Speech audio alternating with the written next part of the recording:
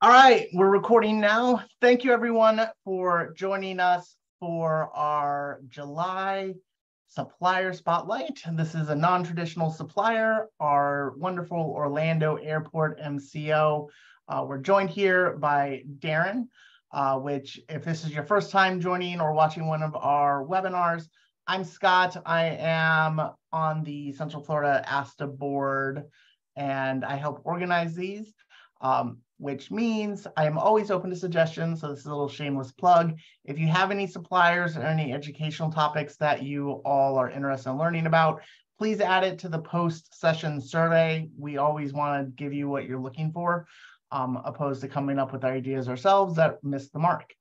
A uh, couple of housekeeping things. If you are watching this live, there is a Q&A box. Please use that to ask any questions uh, just because if you put them in the chat and the chat gets crazy, we lose track of them and your answers, your questions go unanswered. Um, but otherwise, the chat's an option for you all to kind of chit chat. And if you have any random comments you want to add about what we're talking about, that's the place to do it. Uh, but I'll go ahead and turn this over to you, Darren, if you want to take away, take it away.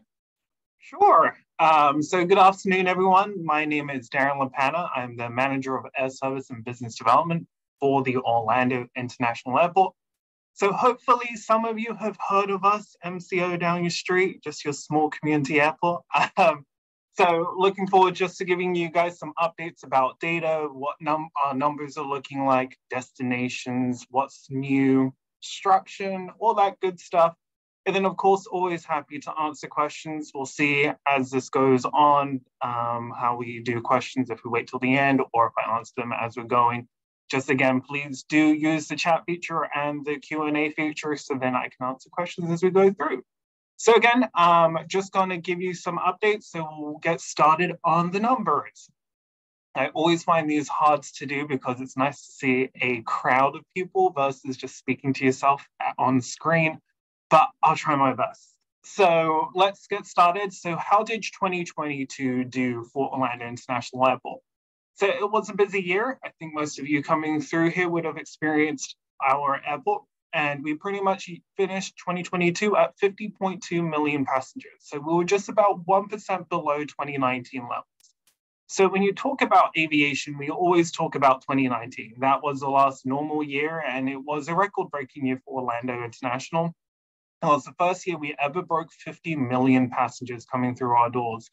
So right now for 2022, we were back again at 50 million and one of the very few airports throughout the United States that can say we were growing fast and we're close to 2019 levels. There are quite a few um, terminals, um, airports around the US that haven't managed to get to 2019 levels yet. So something that is pretty cool. So we'll jump on to how are we doing for this year? And we're still very busy. We finished May of this year with over 54 million passengers. So that is definitely a big increase and above 2019 levels by 10%. So again, 2019 was a record breaking year for us. And here we go, we're breaking 2019 levels and we are at 54 million passengers. Domestic continues to be our strongest. It's going to be the fastest growing because just because it's easy to get around the United States versus international. International is still lagging a little, part of that issue is changing aircraft types. So, of course, Virgin Atlantic don't have those 747s going over to Gatwick anymore, which had over 400 seats. So that's definitely um, part of some of the reason why we haven't got to 100% of international travel. Um, but also, you know, as we look back at the last 12 months, part of the reason why international travel isn't back to where it was because in the last 12 months. Some countries still had restrictions. We still had restrictions into this year. So as we look into the summer, I think we're definitely going to expect to see a little bit more growth in international and hopefully be closer to 2019 levels as we finish out this year. But definitely very busy. Um, Janine did ask a question. Terminal C looks looks like it has so much land, but not being utilized as it looks like it should be. Is this going to continue to grow? Yes. So um, right now we had a lot of airlines move in the first phase of um, our airline moves, and then right now we're looking at trying to rebalance the airport terminals. So Really, terminals A and B were really designed to comfortably handle 40 million passengers. Terminal C can comfortably handle 10 to 12 million, if not a little more. So again, looking at my math, we're still above capacity, but at 54 million, um, yes, there is some rebalancing. So keep an eye on airlines moving down to Terminal C, as well as potential growth of airlines down in Terminal C. Um, one thing to mention also is JetBlue, when they had first, um, you know, said that they will be our anchor, anchor airline for Terminal C, they would be at a certain level of operation.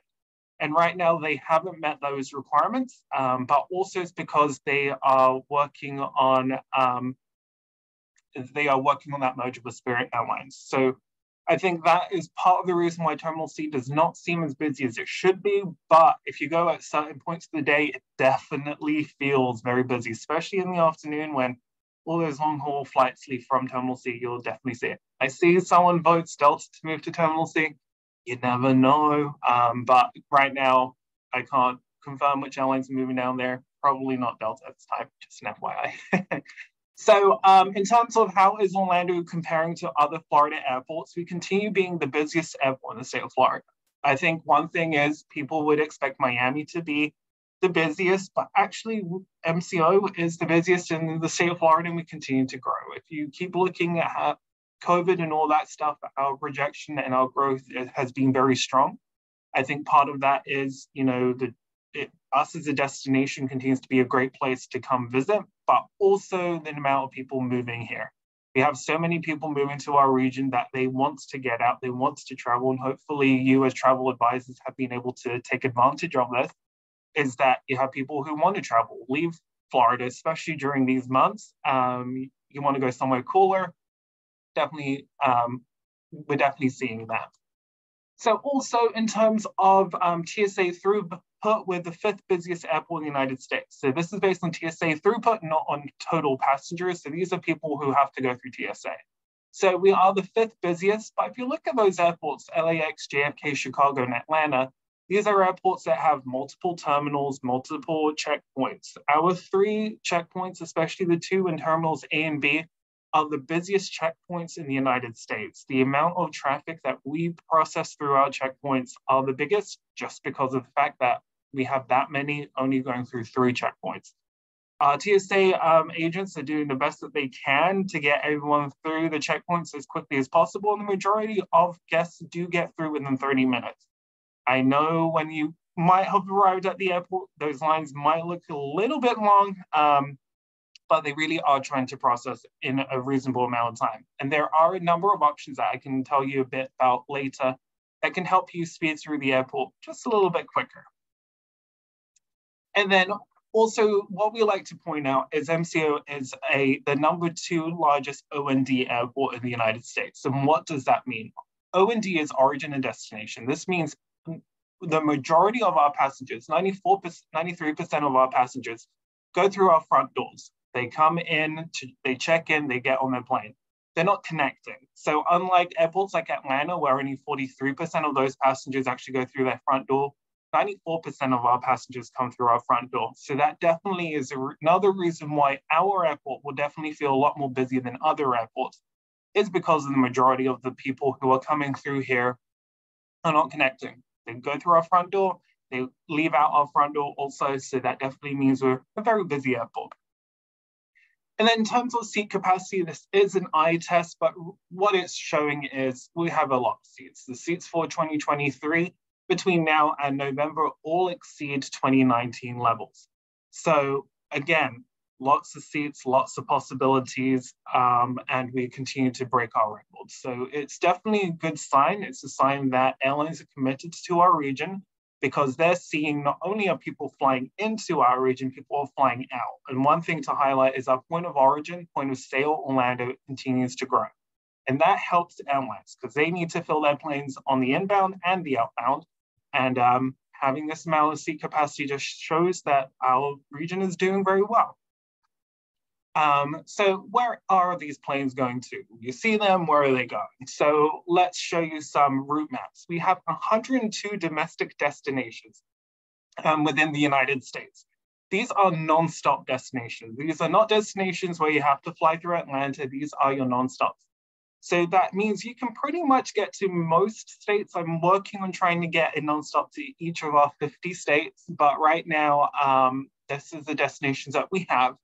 And it's great because now you have options to go somewhere. You're not wasting your whole day having to make a connection. I've gone to places like recently Milwaukee where I had to connect instead of doing the nonstop just because of how schedules worked out.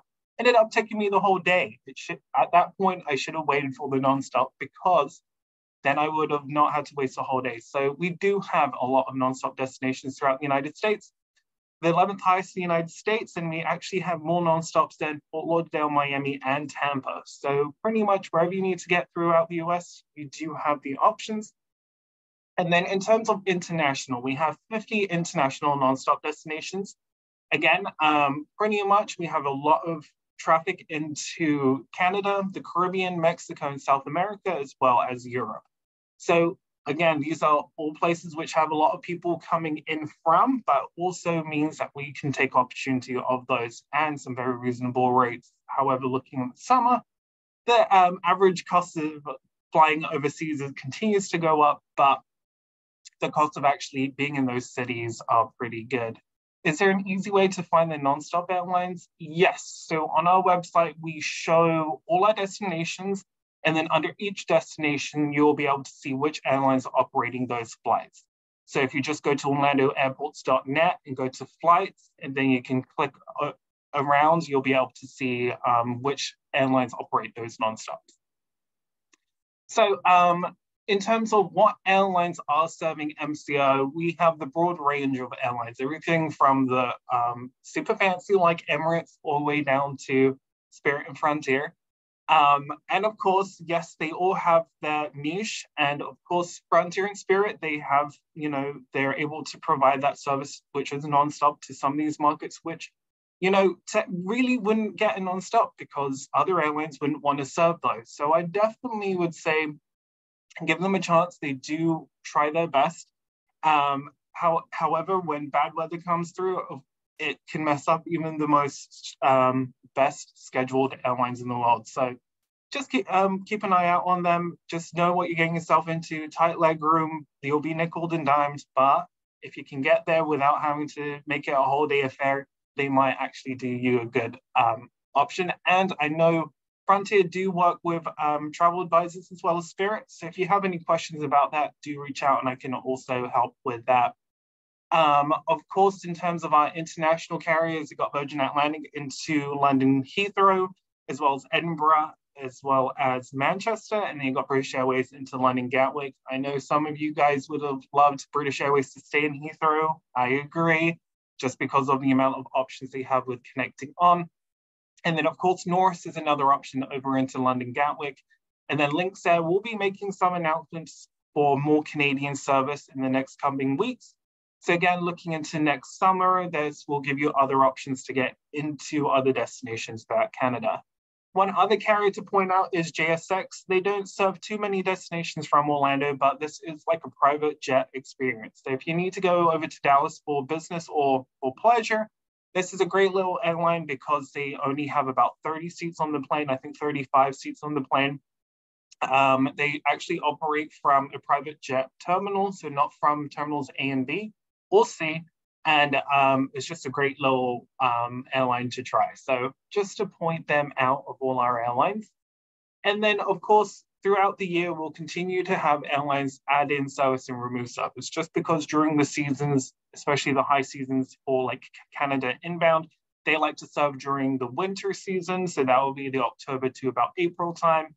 Um, and then also into Brazil, they like to op operate during this um, our winter time, their summer time. So you'll see service throughout the year kind of fluctuate. But again, if you have any questions on which airlines are serving during which times, you're always welcome to reach out. And of course, it is updated on our website. So again, Icelandair will return in September with all those opportunities to fly into Europe with one stop in Iceland. And also they do have the Icelandair stopover program where you can add a stop in Iceland either on the way there or back at no extra cost. Of course, you have to pay for your flights.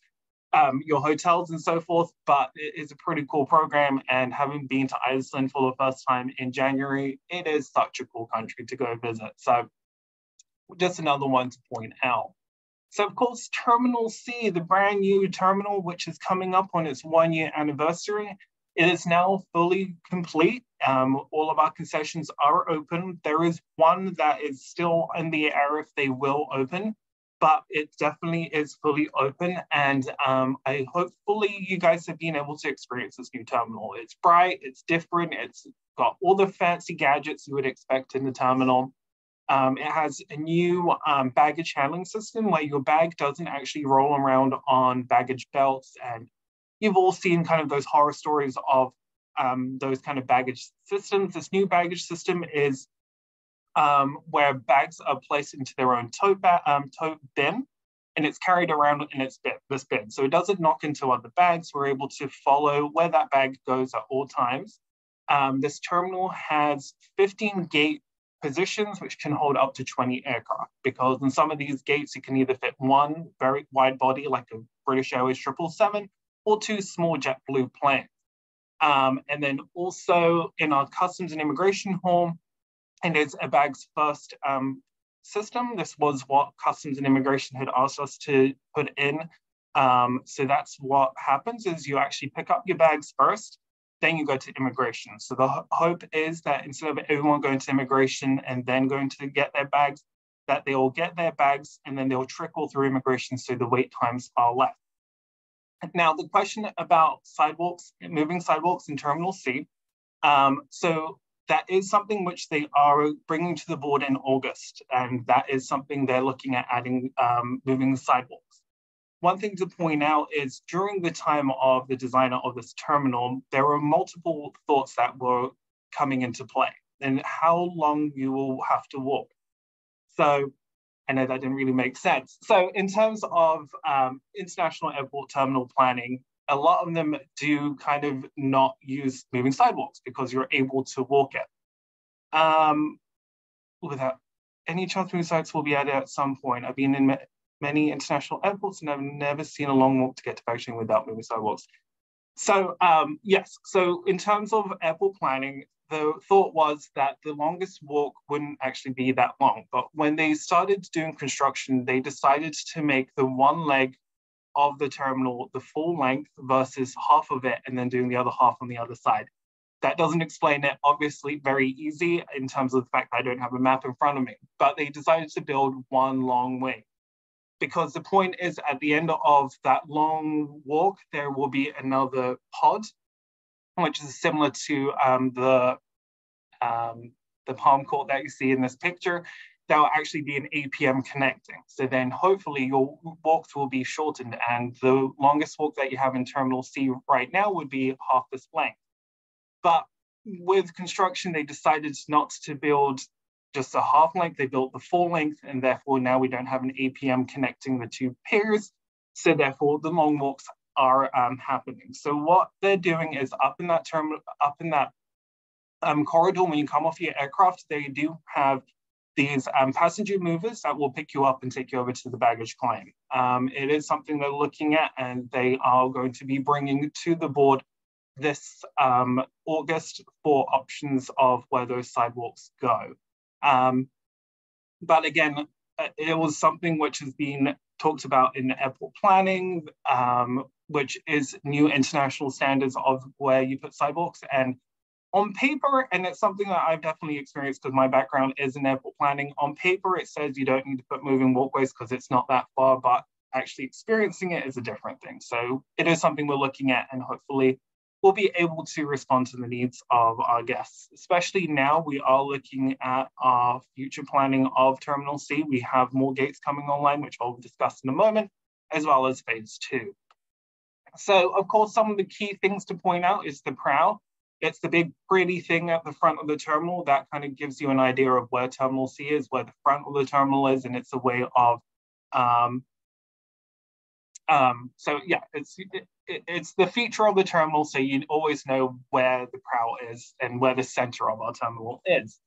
In terms of our international baggage claim, again, you arrive on the upper level of the terminal. So the whole point of flipping the experience is international arrivals and arrivals arrive on the top level because after a long flight, you definitely want to experience the light. You don't want to be dropped down into the basement like you currently do on Airside 4. You're brought up to a lot more of a light facility. And I think that's something which definitely feels good after an eight, nine hour flight being brought up into the light and having this, you know, very open experience. Um, hopefully you all agree. And then on top of that, we have these experiential media environments throughout the terminal. So you have windows on Orlando, which is towards JetBlue gates. And these have um, scenes from the region of Central Florida. So um, these are some great screens. You have a rocket launch going off every um, every so often. Some of our ranches in Osceola County. So it was pretty cool to watch and um, experience. And then of course the Moment Vault, which is right in the center of Terminal C. So as you come after security, you'll enter into our Palm Court, which has the majority of our concessions and stores. You'll see this in the center, which has just some fun experiences um, it'll actually interact with you when you go on, on the inside screen. So definitely go in and enjoy and have some fun with that. And then of course our seating, we have lots of different kinds of seating. We don't just have the bench seating, we do have it, but we just don't have that type of seating. We have these different like seating options throughout the terminal area. So you can, you know, work, you can eat a meal, so, and then kids have like a little area as well. So or whichever type of traveler you are, you have a type of seating experience. And having done tours of Terminal C, the thing that people get the most excited about is not these fancy screens or these different kinds of seats, it's just our wireless charging. So on the rows of seats you see to the right and the left of the screen, um, when you sit down, you can actually put your phone down, um, your iPhones down, or other phones which have wireless charging, and it will charge wirelessly. So one of the biggest things that people take away from the brand new Terminal C is um, wireless charging. Now, in terms of our food and beverage options, we have lots of um, local options now, which definitely is something that feedback from passengers are that they want to be able to try local foods. Um, so we have Sunshine Diner by Chef Art Smith. So he has um, Homecoming over at Disney Springs. We have Wine Bar George, again, from Disney Springs. We have Orlando Brewing as well as Orange County Brewing.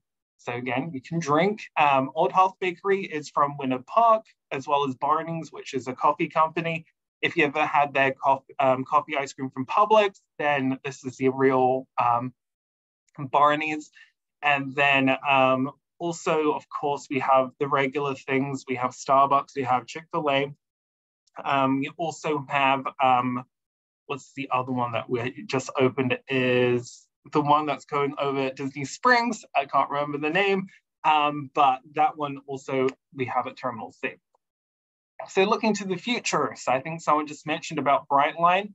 Um, so yes, Brightline, let's see if I got a picture, no I don't. So right next to Terminal C is the train station. So one thing that a lot of people kind of thought was that building that we had down there, they thought that was Terminal C. Then we started building Terminal C and then people wondered what that building actually is. That is our train station. So it's adjacent to Terminal C and it will be connected um, by a walkway. Right now it's connected through the parking garage.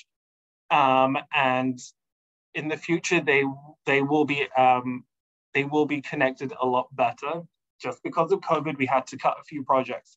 But yes, it's, um, Brightline is adjacent to Terminal C and it is starting this summer. Right now, they are selling tickets for September 1st, but um, whispers are on the street that they should be, um, as long as the FRA, which is the Federal Rail Administration, gives them their approvals, that they might be starting in August. So right now, um, Brightline is the train that will be connecting Orlando International Airport to South Florida.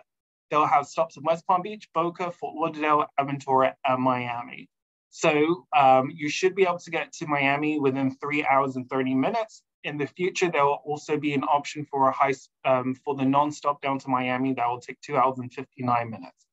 Um, again, if you're a big cruisers going from West Palm Beach, Fort Lauderdale, and Miami, these are great options because then you don't have to tackle I-95 or the Florida Turnpike.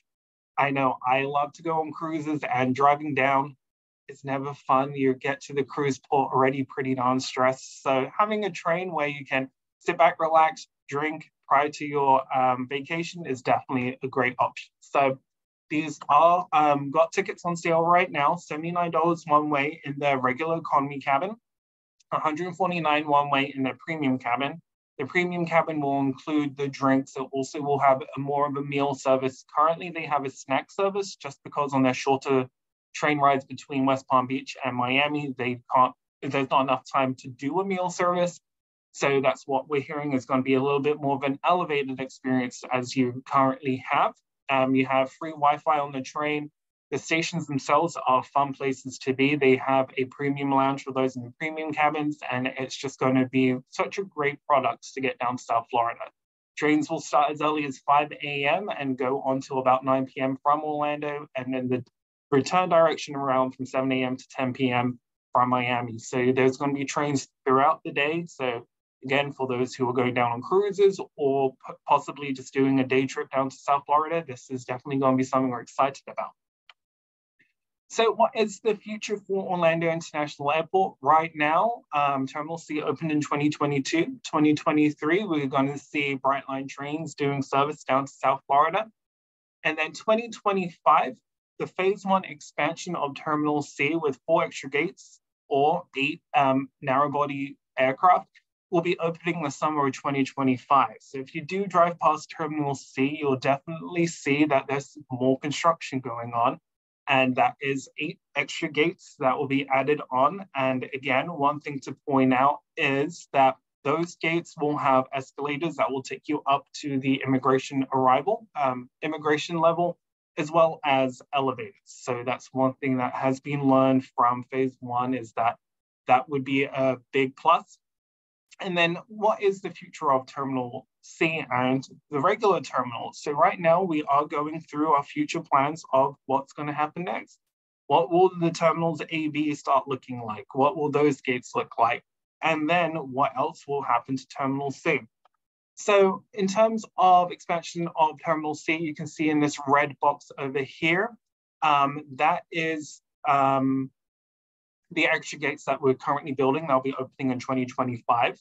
Also the bridge, which is, I don't know if you can see my cursor, this blue area here, this bridge was removed because of COVID. Um, so right now this is being built. They just started, um, you know, cleaning that up. So that should be 15 months for the real connection bridge between Terminal C and the train station, because currently right now you can get to the train station from Terminal C by going through the garage it's not the best um, you know experience right now. So that should be um, operational by next summer. And you'll also have the permanent home of our rental car counters for that area. So you can see here, these are the new gates that we're adding on, and um, that is something to look forward to.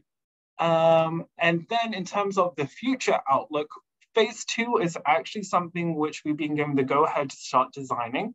Gates um, phase two will be up to another 20 gates and it will be based pretty much just at the end of the JetBlue gates as you know them today. Um, and also we'll have another node similar to the Palm Court. So these are all things that are being planned for the continued growth here at NCR. So Janine did ask about what about baggage fees? That is on the airlines. Airlines are able to choose if they charge for baggage. It is not something that we as an airport can control. Um, for an airline to operate from here, they do have fees and charges that they do have to pay. But baggage fees as, oh, what about baggage fees for Brightline? For Brightline, that would be a question for Brightline. Um, right now, I know that they do um, they do allow for one bag up to 23 kilos um, included in your ticket. But again, that would be a question for Brightline. Um, and also, that's a good point for Carl and Scott that I do have a contact for Brightline, so potentially maybe they could be a future speaker for you guys. um, and then in terms of Terminal D, this is Terminal D over here. Phase three of Terminal C pretty much extends it all out. So this is what the future of Terminal um, Orlando International Airport can look like. Again, this is going to take multiple years because we're going to build based on demand and um, hopefully, knock on wood, I'm still not here working here. I might be hopefully retired by the time they build Terminal D, but it can pretty much mirror what you currently see with Terminal C. So passenger amenities, what kind of things do we have going on at MCO and some things to highlight? So speed through MCO. One thing to highlight is MCO Reserve. This is a complimentary product. This is for those guests who do not have TSA PreCheck or a clear, um, was it? Yeah, a clear membership. These are for those passengers who only maybe fly one time a year or two times a year and do not want to um, sign up for TSA PreCheck or um, global entry.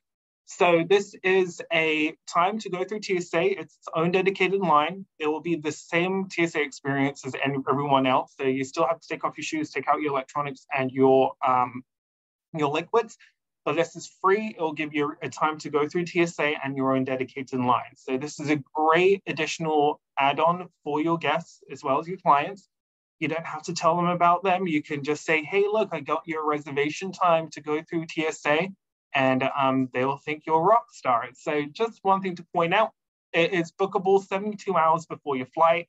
You put in your flight information, the name and email, and it will provide them a QR code, which will they'll show at the um, line. So this is another opportunity to get through security quicker. So especially if you don't have TSA PreCheck or clear or global entry, this is one thing to point out. Another thing to point out, which I don't have a slide for, which I remember this morning, is the um, mobile passport app. So if you are arriving into Orlando from an international flight um, and you do not have global entry, this is another chance to get through immigration quicker. You download the app and then you're able to put in your passport information and all that good stuff. On arrival at the gate, turn on your phone and use your um, cell service, not Wi-Fi, I mean, you can use Wi-Fi once you get into the terminal. You'll take a picture of yourself and then it'll come up with a QR code. So then when you go to immigration, they just scan that QR code and you hopefully will get through a lot quicker. So mobile passport, that's another thing to point out. So again, if you don't have um, global entry and you don't travel that much, that is something else to add on. And then um, lounging about at MCO, we do have multiple lounge options here at the airport. Plaza Premium Lounge just um, opened with Terminal C. It's definitely a very different experience to the current lounges that we have. It definitely is an elevated experience. They have the showers, they have a great buffet, they have um, food that you can order off the menu, alcohol's included, all that good stuff. And it has great views of the apron as well as the inside of the, the Palm Court. Another one to point out is Club MCO, which is located here in the main terminals of A and B and they are um, over by gates 1 through 29 and gates 70 through 99. So that is another option for you. Um, Janine, I paid for global entry, but I can't get an appointment. Is this going to change in the future? Uh, there's definitely a backlog with global entry. And one thing to point out is you can do your global entry appointment on arrival. So if you are going on an international trip, you can actually do your global entry appointment on arrival back into the United States. That's one thing to point out.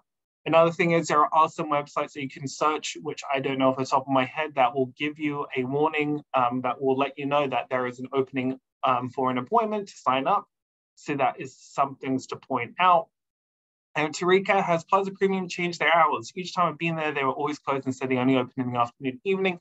Correct. They just recently changed their hours this the past couple of weeks they now open at 7 a.m. and close at 11 p.m. So that is one thing to point out. And they are also now back on priority pass. So if you have that kind of uh, membership, they are available for priority pass on top of the credit cards and all the other things that they currently take. Um, but also the three main airlines, American, Delta, United, also have lounges at the airport. So again, there is a lounge that should meet your needs when flying through MCO. So pretty much that was a very quick, uh, somewhat quick um, overview of everything that is going on at Orlando International Airport. We have lots of flights. We are definitely break, breaking more records in terms of passenger traffic going through our terminals. Um, of course, another question I'm sure that a lot of you ask is parking. We are definitely feeling parking as a pain point for us at MCO. So um, one thing that we are doing, we are building three new parking lots that will open up another 700 parking spots. They will be right by the train station, so you will not need to take a bus to the terminals. You'll be able to walk into the train station, either walk to Terminal C, it will be about a 10 to 15 minute walk to Terminal C, or you can jump on a APM, the terminal link, That'll take you from the train station up to terminals A and B. Especially if you're flying Delta, that's nice because the, um, the terminal link drops you right off by the security checkpoint for terminal um, for the Delta terminal, as well as Southwest and um, Virgin Atlantic and those carriers that kind of operate from that area. Um, but yes, pack your patience. Um, you know, the amount of people um, moving to Orlando continues to be at about a thousand people per week. And that's just stuff that you're not able to plan for. Parking takes multiple years to come. We're definitely looking at other parking options, but at least in the short term, there is another 700 spots on its way. But yeah, that's it from me from Orlando International Airport. Any other questions, comments? Want to yell at me for anything? Go for it. well, yeah, thank you for everything. This is exciting information for anyone that's lived here and dealt with uh, ancient parts of MCO. Uh, all the nice updates are really good, and hopefully they'll be able to update the other terminals once you guys offload some of that workload. So question from Barbara is how much does the MCO lounge cost? So Plaza Premium currently is $50 for three hours. The Club MCO, I'm not sure off the top of my head, I think it's around 40 to $45. But again, you can Google it to sign up for, um, to make a reservation for either of those. Yeah. Sorry, Scott, go ahead. and just, uh, and for anyone that isn't aware of American, Delta, and United's club. Those are all membership based, uh, which either from frequent flyers or first class or whatever the case is. Um, but you have to talk to those airlines to figure out club access. If anybody has any last minute questions, please feel free to add them into the chat. Um, we'll give a few moments here. Um, you also see Darren's email on the screen. So if you have any follow-up questions that you think of after, I'll volunteer him that he's happy to take them. Sure am. Darren, I have a question. Yes. Um, so where do you see, do you, where do you see the volume trends as far as, um, you know, is, if you have a 6 a.m. flight, you know, it's important that you be there you know 3:30 because the security lines are really long. You have a noon flight; it's not as busy. You know, where do you see those trends, and what do you recommend as far as uh, being at the airport in advance based on departure time? Correct. So definitely, if you have an early morning flight, those 6 a.m., um, 5 to 7 a.m. flights, those are going to be our biggest crunch times because what happen is happens is airlines like to park their planes here at MCO overnight and they all want to leave at the same time in the morning, which is between five and seven. So again, be prepared for long lines, especially at those times of the morning.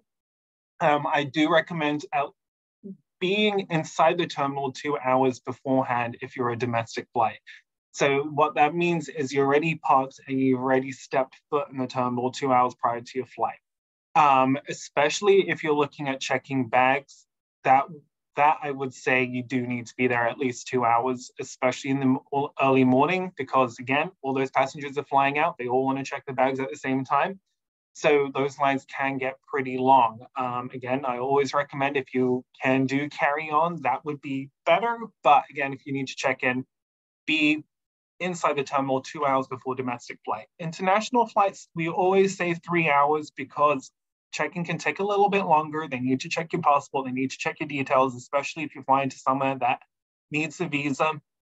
This, um, just make sure that you're in the terminal at the right time. Um, so those are things that we can definitely, you know, uh, that's what I would recommend. Um, so yeah, the early morning as well as the afternoon. So 5 p.m. onwards is again another big um, push, especially for international flights. Um, so just be prepared to come in two hours. And when we say two or three hours, that means inside the terminal, not driving into the airport at getting into onto the airport property at three hours. I mean, actually stepping inside the terminal with your bags, um, three hours international to domestic. Um, so did that answer your question, Kyle? Yes, that was perfect. Thank you, Darren. And then Mary, will you be conducting a tour of Terminal C anytime soon? I guess, I mean, we can possibly do that for some smaller groups. So again, that's something I can work with Kyle and Scott. If you guys want to do um, small group tours, we can potentially look at doing stuff like that. Janine, I do have one more question. If you are accepted to global entry and you haven't gotten the appointment to get it finished, can you use TSA by showing you have been accepted?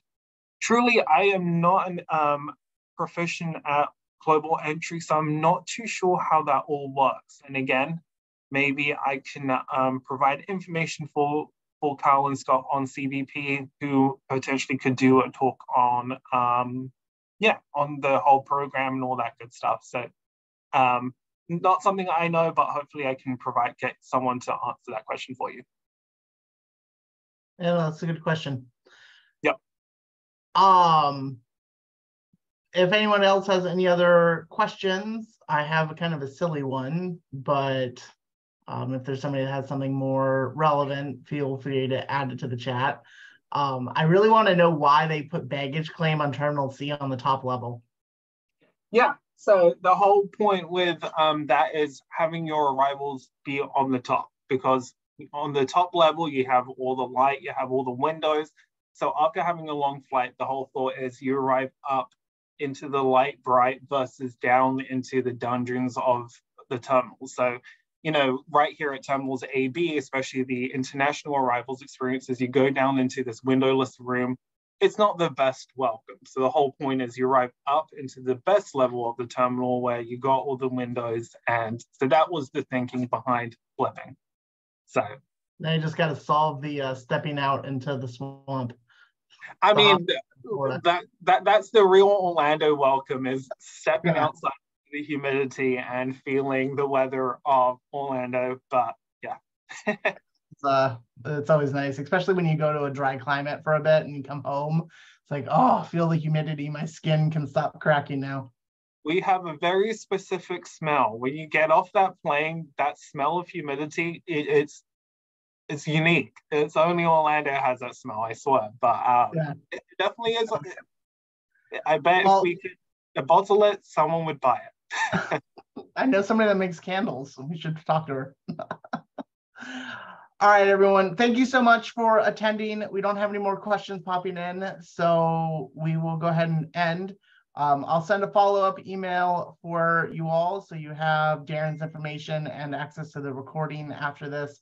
It will be on the chapter's website, which if you don't already have a login for it, just click sign up and then you'll enter information. And then once it's approved, you'll get the welcome email and then you'll be able to view all the previous recordings. But thank you everyone and have a great rest of the week. Thank you everyone. Bye. Have a good week.